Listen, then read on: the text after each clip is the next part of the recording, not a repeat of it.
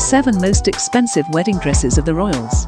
In seventh place is Meghan Markle's dress by Givenchy, the cost of which was $150,000. In sixth place is Princess Diana's dress from designer David Emanuel, its cost was just over $200,000. The fifth place is Valentino dress of the Greek crown Princess Marie Chantal, its cost of $225,000. In fourth place is Princess Eugenie with a dress by Peter Pilotto and Christopher De Vaux, its cost was $275,000. Third place goes to the dress of Japanese Empress Masako, costing about $300,000. In second place is Princess Catherine's dress by Alexander McQueen, costing $340,000. And finally in first place is the dress of the Spanish Queen Letizia, which is decorated with embroidery from real gold thread. His dress was more than $8 million.